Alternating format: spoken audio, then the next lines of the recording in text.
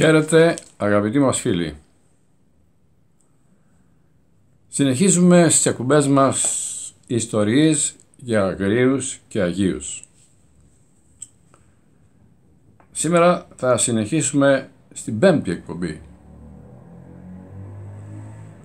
Διαβάζουμε. Ένας αυτοκράτορας. Ένας αυτοκράτορας και βρισκόμαστε στους βυζαντινούς χρόνους όπου οι αυτοκράτορες ήταν συνήθως στρατιωτικοί. Οι περισσότεροι ευσεβείς χριστιανοί αλλά και μερικοί αποστασιοποιημένοι από τον χριστιανισμό υπήρξαν. Ο Ιλιονάς ο Παραβάτης ήταν ένας όχι χριστιανός αυτοκράτορας. Ως γνωστόν, ο Μέγας Κωνσταντίνος, ο Μέγας ευεργέτης των χριστιανών της εποχής, κυριάρχησε τον αντιπάλων του και έγινε ο πρώτος χριστιανός αυτοκράτορας. Ε, τότε είχε ένα τεράστιο κράτος που έπιανε από την Αγγλία μέχρι την Περσία ο Μέγας Κωνσταντίνος. Ήταν κοσμοκράτορας. Όχι όπως σήμερα που είναι δύο-τρεις κοσμοκράτορες. Αυτός ήταν ο μοναδικός κοσμοκράτορας ο οποίος είχε κράτος από εκεί μέχρι εκεί. Δηλαδή από κοντά από την Αγγλία μέχρι από τον γνωστό κόσμο της Ευρώπης μέχρι την Περσία. Έγινε προστάτης των χριστιανών και σταγμάτισε τους διωγμούς. Έδωσε δυνατότητα να θρησκεύονται ο κάθε άνθρωπος όπως ήθελε. Σήμερα το έχουμε δεδομένο ότι ο καθένας μπορεί να κάνει τη δικιά του θρησκευτική ε, ε μαρτυρία. Τότε έπρεπε να κάνει τη μαρτυρία που ήταν ο αυτοκράτορας. Αλλιώς θα κυνηγηθείς και θα ε, εκτελεστείς. Αυτό έκαναν οι νέορνες, οι Διοκλητιανοί και όλοι εκείνοι οι άνθρωποι οι οποίοι ήταν αυτής της εποχής. Σταμάτησε τους διωγμού των χριστιανών. Έδωσε δυνατότητα να θρησκεύεται κάθε άνθρωπος όπως αυτός θέλει. Για πρώτη φορά στην ανθρωπότητα εισήχθη ο νόμος που λέει άνεξη θρησκεία. 400 περίπου 33. Είναι μέγα επίτευγμα που άνοιξε τις κατακόμβες και έδωσε θάρρος σε όλους τους πολίτες οπουδήποτε και αν ήταν. Καθιέρωσε επίσημη γλώσσα της αυτοκρατορίας στην ελληνική γλώσσα. Έσβησε τα χρέη, μοίρασε γης σε ακτήμονε, καθιέρωσε την Κυριακή ως Αργία, συνεκάλεσε την πρώτη Οικουμενική Σύνοδο, όπου εγγράφηκε και καθιερώθηκε το πιστεύω. Αυτό που λέμε σήμερα πιστεύω εις έναν Θεόν Πατέρα Παντοκράτορα, καθιερώθηκε εκείνη την εποχή. Όσο και αν μας φαίνεται περίεργο, τότε έγινε αυτό. Η Οικουμενική Σύνοδος η πρώτη καθιέρωσε το πιστεύω έκτισε εκκλησίες στην Ιερουσαλήμ. Όπως ξέρουμε έχουμε ακόμα εκκλησίες από τον Μέγα Κωνσταντίνο που είναι ε, ιδιοκτησία δική μας. Είναι τόπος ελληνικός εκεί οι εκκλησίες αυτές. αν και αν φαίνεται περίεργο αυτό, είναι έτσι τα πράγματα. Είναι τόπος, είναι Ελλάδα εκεί. Ο Πανάγιος Τάφος και πολλά άλλα προσκυνήματα που πηγαίνει ο κόσμος και προσκυνάει. Ε, έκτισε γυροκομεία, νοσοκομεία κλπ. για απόρους και η ιστορία τον είχε αποκαλέσει Μέγα Κωνσταντίνο. Η θρησκεία εις, εις Άγιο, εις Απόστολο και Άγιο. Ε, σκεφτείτε ότι ήταν ένας άνθρωπος ο οποίος προστάτευσε μια ολόκληρη θρησκεία. Ο μοναδικός τότε έκανε αυτό το πράγμα. Δεν κυνήγησε τους άλλους που ήταν δωδεκαθεστές και λοιπά όπως λένε, όχι. Ήθελε ειρήνη στο κράτος του, γι' αυτό και απαγόρεψε οποιοδήποτε να κάνει κάτι εναντίον κάποιου ο οποίος, ο οποίος έχει άλλη θρησκευτικότητα. Έτσι λοιπόν και ξέρουμε και το σπουδαίο εκείνο που λέει ότι σε μια μάχη ο Ιουλιανός ο Παραβάτης ε, ε, έφαγε ένα βέλος στο στήθος του, προσπάθησε να το βγάλει και πέθανε την ίδια στιγμή βγάζοντας το αίμα του έξω. Το μάζεψε στα χέρια του, το πέταξε λέει το αίμα του και είπε «Ναι νίκη κάσμε ένα ζωρέ, με νίκησες ένα ζωρέ».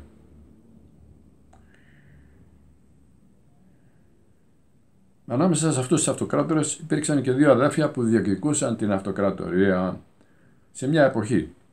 Αργότερα, Ο πιο μεγάλος από τους δύο αδερφούς αυτούς δολοφόνησε τον αδερφό του. Όταν τη νύχτα κοιμήθηκε στο κρεβάτι του, είδε τον αδερφό του να πλησιάζει το κρεβάτι κρατώντας ένα ποτήρι γεμάτο αίμα που άχνιζε. Τον πλησίασε και του είπε: Αδερφέ, πιέ. Την άχτηκε τον είπε τον αναστατωμένος. Προσπάθησε να ξανακοιμηθεί. Μόλις ξανάπεσε στο βασιλικό κρεβάτι, εμφανίζεται πάλι η οπτασία. Αδερφέ, πιέ.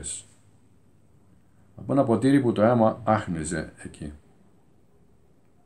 Έμεινε μια εβδομάδα άγρυπνος αυτός, φοβούμενος το φάντασμα του αδερφού του. Παρισιαζόταν κάθε βράδυ μόλις έκλεινε τα μάτια του. Πήγε στην Ιταλία να ανάξει παραστάσεις, να μπορέσει να κοιμηθεί, αλλά και εκεί εμφανιζόταν ο αδερφός του με ένα ποτήρι αίμα και ακολουθούσε η ίδια εποδός. Έλα, αδερφέ, πιέ.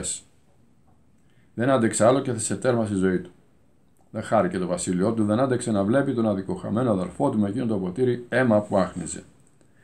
Κάποιοι θα πούν πως δεν ήταν εμφάνιση του αδερφού του, ήταν συνείδησή του που τον έτυπτε, αλλά ό,τι και να πούμε, ήταν κάτι, εν πάση περιπτώσει. Και η φιλοδοξία που για, για την εξουσία και τον οδήγησε στον έγκλημα και μάλιστα να εγκληματίσει εναντίον του ιδίου του, του αδερφού.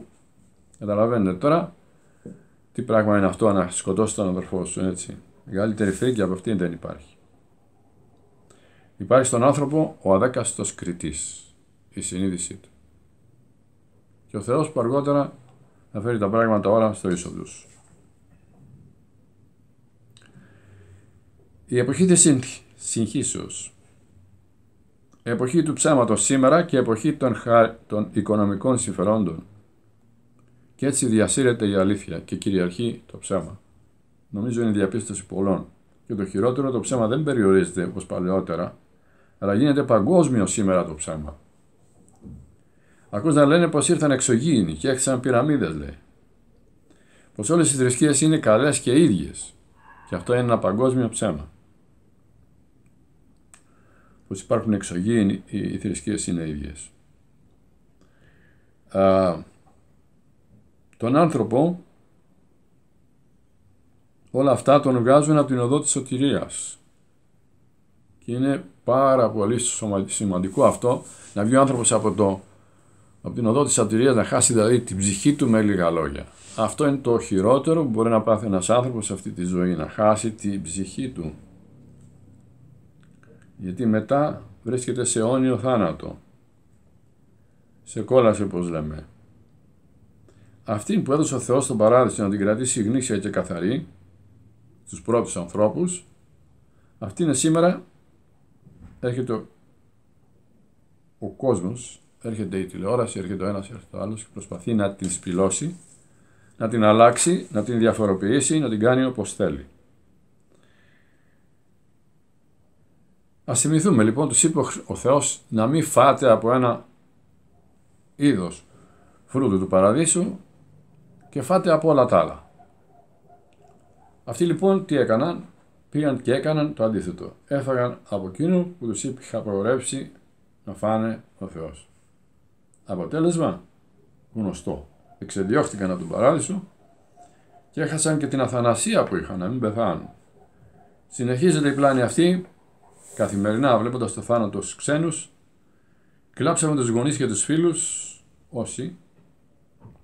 Και ποιος μας πλάνα, εκείνος που πλάνεψε και την Εύα, που λέει κρυφά ότι δεν θα πεθάνεις, έχεις καιρό. Λένε μερικοί θα ζήσω 120 χρόνια. Άλλοι λένε, ε, ναι, ο καθένας λέει το δικό του πάνω σε αυτά. Μα είναι πλέον άρρωστος και δεν φοβάται το θάνατο. Ο Αδάμ πλάστηκε αθάνατος εξ αρχής. Δεν ήξερε θάνατο εσύ όμως το ξέρεις και τον είδες στο θάνατο, αυτή η πίστη σκοτίζει το νου. Δεν βλέπεις το μεγάλο κίνδυνο, διότι η ελπίδα σου λέει πως έχεις να ζήσεις σήμερα και θα ζήσεις και αύριο. Και δεν αφήνεις την απληστία, την αδικία, την αρπαγή να κάνεις ελεημοσύνη. Δεν προσεύχεσαι. Μιλάμε για αυτόν, ναι, όχι για σένα, που άκουσε την εκπομπή βέβαια, γιατί είναι σαν να κατηγορούν προσωπικά κάποιον. Μιλάμε αορίστω, έτσι, για κάποιον άνθρωπο ο οποίος δεν προσεύχεται. Δεν ε, κάνει ελεημοσύνη και είναι άνθρωπος της αρπαγής και της αδικίας. Και αυτά όλα επειδή δεν λογαριάζει το θάνατο και δεν βλέπει τη ματαιότητα αυτών που κάνει. Και ζουν χωρίς φόβο μερικοί, γιατί φέρονται σαν αθάνατοι. Κι όμως θα πεθάνουν. Κολλάζει την ψυχή τους με τον πολιτισμό και τις μεγάλες φιλοδοξίες και ξεχνάμε το Θεό και το θάνατο και την απολογία που θα δώσουμε μετά τα αυτά. Αδικούμε φτωχούς, εκμεταλλευόμαστε τον ανθρώπινο πόνο και τον κόπο και νομίζουμε ότι αυτά δεν πληρώνονται. Είναι τυφλοί και ανόητοι αυτοί που νομίζουν ότι δεν θα πληρωθούν όλα αυτά. Υπάρχει δικαιοσύνη. Αργά ή γρήγορα και εδώ, αλλά και στην άλλη ζωή θα υπάρξει μία αποκατάσταση των αδικιών αυτών των ανθρώπων που αδικήθηκαν με αυτόν τον τρόπο που λέμε τώρα. Θέλω να πάμε σε κάτι που είναι και λίγο πιο εύθυμο και συνέβη την εποχή της κατοχής. Τότε που άρχιζε ο κομμουνισμός να εμφανίζεται. Ήταν λοιπόν κάποιος ιερέας ψηλά σε ένα χωριό των Τρικάλων στα παλαιότερα χρόνια, πριν εμφανιστεί το Αντάρτικο, όπως λέει και ο πατήρ Παίσιο, ο οποίος πολέμησε ο πατήρ Παίσιο, θα πούμε γι' αυτόν αργότερα, πολέμησε εκείνο τον καιρό. Ο ιερέας ήταν ο λιγογράμματος αυτός, αλλά πιστός και ψυχωμένος άνθρωπος. Δηλαδή είχε δυνατή ψυχή, αν και ήταν λίγο αγράμματος όπως φαίνεται. Ο ιερέας ήταν ο λιγογράμματος. Στην εκκλησία του Αγίου Νικολάου υπηρετούσε τότε και πολλές φορές τον άκουγα να μιλάει κρυφά με κάποιον, ας πούμε. Όταν κοίταγαν όμως μέσα στην εκκλησία με ποιον μιλάει, από περιέργεια να δουν τι κάνει αυτός ο άνθρωπος. Δεν βλέπανε κανέναν άνθρωπο, αλλά βλέπανε να στέκεται στην εικόνα του Αγίου Νικολάου και να μιλά με τον Άγιο Νικόλα. Ε, λένε πάλι ο παπάς τα έχει χαμένα, ας πούμε κλπ. Αυτός όμως ήταν έτσι. Ήταν και καλός με το πίμνιο του και αγαπητός. Διηγείται ο πατήρ Ευστάθιο, γνωστός του που ήταν τότε φοιτητής και τον φιλοξένησε αυτόν τον άνθρωπο στην Αθήνα στο σπίτι. Ήταν λέει άνθρωπος της προσευχής. Κουβαλούσε μαζί του ένα μάτσο χαρτιά με ονόματα που τα μνημόνευε. Μια μέρα έβγαλε και έξτρα φυλάδες που ήταν λέει ιερείς και αρχιερείς που είχαν μαρτυρήσει επί Στάλιν. Έκανε και μνημόσυνο των εκτελεστέντων από το Στάλιν. Τόσο πολύ. Διάβαζε δύο ώρες ακόμα μετά την προσευχή. Έλεγε πως ο ύπνος είναι πονηρός. Νιστάζει λίγο και μετά λέει δεν ξανανεστάζει μετά. Μια μέρα λοιπόν του συνέβη το εξής περιστατικό αυτού του ιερέα, του οποίου δεν έχουμε το όνομα. Ήταν εκείνος στο ναό και άκουσε φασαρία στην αυλή του ναού και βγήκε έξω για να δει τι γίνεται. Τι είναι αυτή η φασαρία; Είχαν μπει κάποιοι αντάρτες, νεαροί, και έλεγαν πως το απόγευμα θα συγκεντρωθούν στην πλατεία, να συγκεντρωθούν οι χωριανοί στην πλατεία να μιλήσουν στην πλατεία του χωριού για την θεωρία τους. Εκείνος τα χάσε στην αρχή, λέει. δεν ήξερε τι να κάνει. Πάει μέσα, βάζει το πετραχίλι και λέει στην εικόνα: Άγιε Νικόλα, πώς επιτρέπεις αυτά τα πράγματα να γίνονται έξω εδώ, στον περίβολο του ναού σου; Συχισμένο, δεν ήξερε τι να κάνει. Αφού έβαλε το πετραχίλι και είπε αυτά στον Άγιο Νικόλα, αμέσως βγαίνει έξω, πηγαίνει κατευθείαν πάνω στον Άγιο Νικόλα και του τραβάει μια φοβερή σφαλιάρα. Που το τίναξε λέει το κεφάλι αυτή η σφαλιάρα. Μόλις του τη δίνανε. Εκείνος ζαλισμένος πιάνει το κεφάλι και αρχίζει να τρέχει φεύγοντας. Ο πίσω τον ακολουθούν και άλλοι. Μετά είδε το πετραχίλι που φορούσε και λέει: Μα τι έκανα, λέει. Με το πετραχίλι επιτρέπεται να χτυπήσω άνθρωπο. Μεγάλη αμαρτία αυτή. Έπιασε το κεφάλι του και μπήκε μέσα πάλι στο ναό. Στάθηκε μπροστά στον Άγιο Νικόλαο και του είπε «Άγιε μου αμάρτησα». Φορώντας το πετραχίλι έδιρα άνθρωπο. Αλλά αφού σκέφτηκε λιγάκι ξαναείπε «Και εσύ από ό,τι διάβασα έδιρε στον Άριο εκεί μέσα στη Σύνοδο». Πράγματι ξέρετε στη Σύνοδο ο Άγιος Νικόλαος είχε δώσει μία σφαλιάρα στον Άγιο, στον, συγγνώμη, στον Άριο, ο οποίος έλεγε βλασφημίες για τον Χριστό δηλαδή και αγανάκτησε και του έδωσε μια στο στόμα. Είναι άλλη ιστορία, την πούμε άλλη φορά. Τι έπαθε μετά. έδινε άνθρωπο λέει. Από ό,τι διάβασα έδινε και εσύ τον Άριο μέσα στη σύνοδο μα του λέει. Έτσι δεν είναι; Οπότε έδινα κι εγώ, έδινε και εσύ. Ο ιερέας με το δισκοπότηρο. Μια άλλη ωραία ιστορία. Αυτό το περιστατικό που θα σας διηγηθώ έγινε πάλι την εποχή του Ανταρτοπολέμου. Είναι γραμμένο, το είπε ο ο πατήρ ε, Αυγουστίνος Χατιώτης, τον οποίο ε, άκουγα πολλά πράγματα από το στόμα του. Επί 10 χρόνια πήγαινα εκεί που ήταν και στη Ζωδόχο πηγή 44. Αυτά είναι τώρα την δεκαετία του 90, 80-90, κάπου εκεί. Λοιπόν, το περιστατικό αυτό είναι από τον Ανταρτοπόλεμο. Σε ένα πέρασμα ανάμεσα σε δύο ψώματα και λίγο μακρύτερα ανάμεσα στα δέντρα είχε κρυφτεί μια ομάδα στρατιωτών που περίμεναν εκεί για να θα περνούσαν από το δρόμο κάποιοι αντάρτες. Γι' αυτό είχαν ορκοθετήσει την περιοχή ώστε όταν περνούσαν να πατήσουν τις καμουφλαρισμένες νάρκες και να την αχτούν στον αέρα. Περίμεναν λοιπόν κρυμμένη η ομάδα των ανταρτών. Εμφύλιο πόλεμο, δεν υπάρχει τίποτα χειρότερο από έναν εμφύλιο πόλεμο. Περίμεναν αρκετές ώρες, αλλά τίποτα. Κανείς δεν εμφανιζόταν. Τα μηνύματα που έπαιρναν από τον ασήμαρτο έλεγαν: Οπωσδήποτε θα περιμένετε εκεί, γιατί θα περάσουν. Από εκεί θα περάσουν. Δεν υπάρχει άλλος δρόμος. Περίμεναν αρκετή ώρα τίποτα. Ξαφνικά βλέπουν από μακριά ένα μαύρο σημαδάκι που ερχόταν προς τα εγώ. Παίρνουν τα κιάλια και τι να δουν. Ένας παπάς. Ένας παπάς φώναξε. Είναι που έρχεται και λέει πάει να περάσει μέσα από το ναρκοπέδιο. Για να δούμε τι θα γίνει.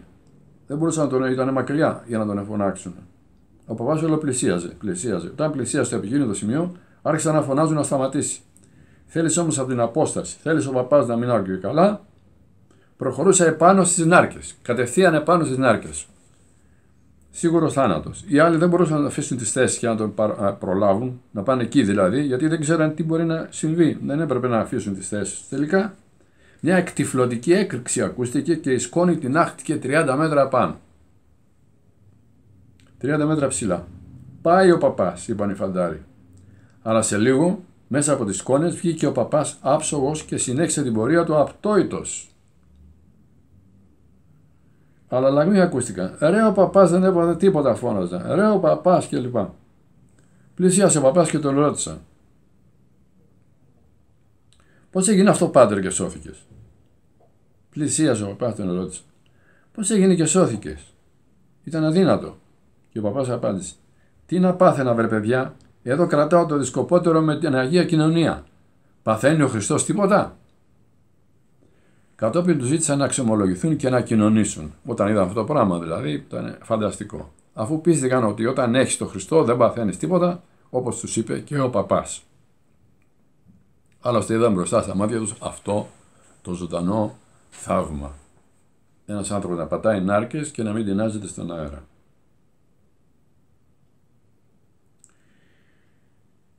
Και ας διαβάσουμε και λίγο, που είναι λίγο σαν θεατρικό αυτό, την ιστορία του Νικοδήμου. Ο Νικόδημος ήταν ένας από τους Φαρισαίους που όμως εκτιμούσε τον Χριστό. Τον έλεγε ραβί και δάσκαλο. Πήγε λοιπόν μια νύχτα στον Χριστό και τον ρώτησε. Είπαμε το όνομά του είναι Νικόδημος. Ραβί, ήρθα να ρωτήσω για το τι να κάνω για να κερδίσω τη βασιλεία των ουρανών. Ο Ιησούς του λέει, για να γίνει αυτό πρέπει να ξαναγεννηθείς. Πράγμα που εννοεί βέβαια την πνευματική γέννηση, όχι την γέννηση, την ανθρώπινη γέννηση που ξέρουμε εμείς που γεννιόμαστε από τη μητέρα μας. Ο Νικόδημος λέει, μα διδάσκαλε, εγώ είμαι γέρος. Πώς γίνεται για να βγω πάλι στην κοιλιά της μάνας μου; Βοήθησε με, σε παρακαλώ, εσύ που υπάρχεις παντού, ο Ιησούς. Ό,τι είναι πνεύμα, πνέει και δεν ξέρεις που πάει, είναι σαν τον άνεμο. Και επίσης θα πρέπει να γεννηθείς εκ πνεύματος και ύδατος. Εννοεί τη βάφτιση εδώ. Πνεύμα και είδωρ. Πώς θα πιστέψετε ότι λέει στα επουράνια, αφού δεν καταλαβαίνετε αυτά που λέω τώρα εγώ. Εκείνος που κατέβηκε από τον ουρανό είναι πιστευτός. Ο Χριστός κατέβηκε από εκεί. Και όποιος το πιστεύει θα έχει ζωή αιώνια. Όποιος δεν πιστεύει στον Υιό του Θεού, η οργή θα μείνει σε Αυτόν. Ακούγεται μια φωνή, η πρώτη φωνή. Εκείνος που γεννήθηκε και είναι, θα είναι αυτός που υπάρχει παντού. Έφερε στον κόσμο το φως της γνώσεως και οι γνώσεις των, των παλαιών είδαν κάποιο αστέρα εξύψεως και είπαν θα γεννηθεί αυτός που προσδοκούν όλα τα έθνη και θα έρθουν στην, να προσκυνήσουν τον ήλιο της δικαιοσύνης εδώ στο Ισραήλ. Γιατί όλη η εξύψους Ανατολή τον γνωρίζει πριν να κατέβει ο Θεός ως άνθρωπος στη γη για να σώσει το λαό του. Και εκεί υπάρχει παντού αυτός που υπάρχει παντού στάθηκε σε ένα πηγάδι για να πιει νερό και μια γυναίκα πλησιάζει το πηγάδι. Μια άλλη ιστορία από το Ευαγγέλιο τώρα σας λέω. Αν μου δώσεις ένα ποτήρι νερό, της λέει, ένα ποτήρι νερό, εγώ θα σου δώσω αυτό το νερό που ξεδιψάει. και δεν θα υψάσει ποτέ πια. Η γυναίκα μένει από περιέργεια και τον κοιτάει. Λοιπόν, δώσε μου το λέει αυτό το νερό σε παρακαλώ για να ξεδιψάσω. Δώσε μου το κύριε. Της λέει πήγαινε και φέρε τον άντρα σου και ελάτε και οι δύο εδώ. Λέει η γυναίκα. Εγώ δεν έχω άντρα. Ο Χριστός. Αλήθεια το είπες, διότι έχεις πέντε άνδρες και αυτός που είναι μαζί σου δεν είναι άντρας σου. Εκείνη σάστησε. Βλέπω είσαι προφήτης του λέει. Για πες μου σε παρακαλώ, δεν είχα στην ευκαιρία αυτή. Εδώ στο Γαριζίν πρέπει να προσκυνάμε τον Θεό ή στο ναό του Σολομόντος πως κάνετε εσείς οι Εβραίοι. Αυτή ήταν Σαμάρια, Σαμαρίτητα. Δηλαδή τους λέγανε ειδωλολάτρες. Άκουσε γυναίκα. Ο Θεός είναι πνεύμα και προσκυνάται όχι μόνο τοπικός αλλά κυρίως πνευματικός. Δεν είναι ο τόπος δηλαδή, αλλά είναι η ψυχή που παίζει ρόλο στην προσευχή. Να μην το ξεχνάμε αυτό. Δεν είναι σε ποιο μέρος πάμε, αλλά τι αισθανόμαστε μέσα μας όταν προσευχόμαστε. Όπου και να είσαι μπορεί να προσευχηθείς. Σωστά είπε η γυναίκα. Όταν έρθει ο Μεσσίας όμως θα μας εξηγήσει όλα αυτά. Ο Μεσσίας ήρθε, της λέει ο Χριστός. Αυτός που υπάρχει παντού. Και αυτός είναι αυτός που τώρα σου μιλάει. Αυτός που μιλάει μαζί σου.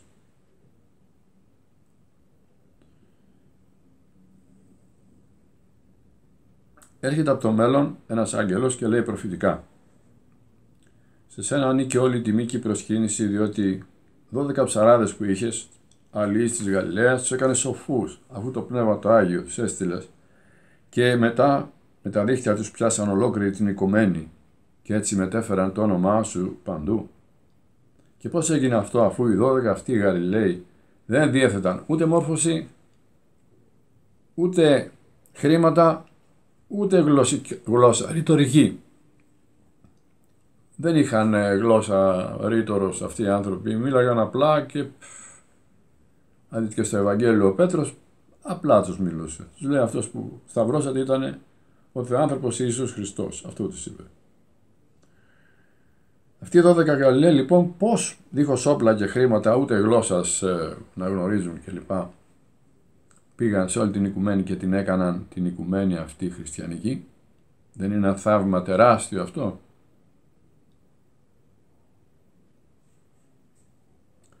Στάθηκαν μπροστά σε βασιλείς και ηγεμόνες, αλλά και σε απλούς ανθρώπους και τους έπεισαν να πιστέψουν, να πιστέψουν στον Χριστό. Αυτό αποτελεί θαύμα θαυμάτων αν κανείς κάτσει καλά, καλά και το συλλογιστεί. Το πώς αυτοί οι άνθρωποι έφεραν την ανθρωπότητα στον χριστιανισμό. Από εκεί ξεκίνησε, από αυτούς τους ψαράδες. Από τον Χριστό μεν, μετά από αυτούς και μετά από τους Αποστόλους στα πόδια των Αποστόλων που κάθισαν μετά οι Απόστολοι. Φαίνεται πως αοράτο υπήρξε κοντά τους και τους προστάτευε και τους καθοδηγούσε. Γιατί είπαν και αυτοί, δεν ξέρουμε εμείς πολλά γράμματα, αλλά εκείνος που είναι κοντά μας, αυτός μας καθοδηγεί και αυτός θα φέρει σε πέρα στο έργο αυτό που σας φαίνεται ότι είναι πάρα πολύ δύσκολο. Ήρθε λοιπόν ο Άγιος της δόξης να φωτίσει τον νου και την καρδιά σου τον πίστεψαν και να τους δώσει τη ζωή την αιώνια. Ήρθε ο Άγιος των Αγίων για να πιστέψουν και να περάσουν οι πιστοί από το θάνατο στη ζωή. Όπως της είπε και ο Χριστός, όποιο πιστεύει σε μένα, περνάει εκ του θανάτου στη ζωή. Αλλά το πιο παράδειξο, το πιο παράδοξο και αντίθετο από, από όλα αυτά που συνέβησαν, είναι ότι έπλασε ο Θεός τον άνθρωπο όμορφο και χαριτωμένο. Κοιτάξτε το παιδί το μικρό πόσο ωραίο είναι και χαριτωμένο. Εκεί φαίνεται η ομορφιά και η αγάπη του Θεού, πώς έφτιαξε τον άνθρωπο.